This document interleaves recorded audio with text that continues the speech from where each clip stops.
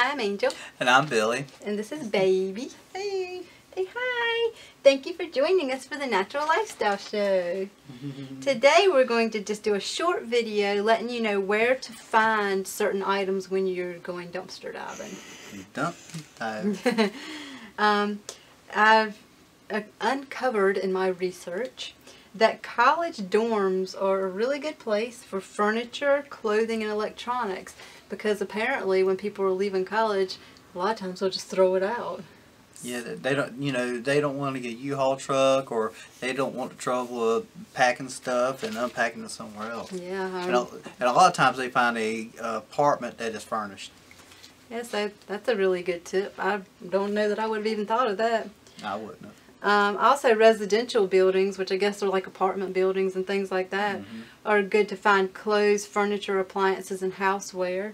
I mean, especially since, you know, if they evict people, people moving in and out, they may leave stuff there Yep. and stuff like that. And, you know, it might be the same for dormitories, too. People might just leave and don't come back and just leave everything they got and it gets cleared out.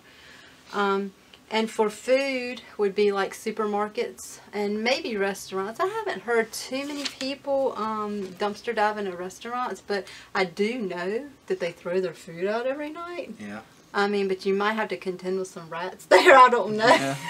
and not only that, you know, uh, a lot, of, you know, a lot of times when it comes to cooked food, you know, the way these restaurants are about it, I mean, I wouldn't even suggest it. I mean, I'm not really sure because, like, in big cities, I've seen people get like a bunch of donuts and pastries and stuff, which I'm not promoting eating donuts or pastries. No. I'm just saying that I've seen it. So there's really no restaurant food that I would eat, honestly, or I would Mhm. want to eat pretty much, not around here. But so supermarkets basically for food. And um, so I thought I'd just give you that, we give you that rundown because I thought it was really interesting. You know, like I said, I wouldn't have thought of wouldn't have thought dormitories or anything like that. So, I mean, you might find some really cool things if you want to start getting some things and selling them or whatever. Or, Probably you find a lot of fun, uh, what we call futon. Yeah, I have a lot of futons. and also, um, you know, with curb shopping, you could find anything. If you just want to ride around and look around on the curbs, you could find any anything. If you just, especially if you find out what um, day the trash picks up from the curb, Yeah. the day before or or day or two before would be a good time to just ride around. So that would be very eclectic there. It'd be like, It'd be a good idea. yeah, just a surprise. Mhm. surprise! Be surprised what what people throw away. You know, America's a big.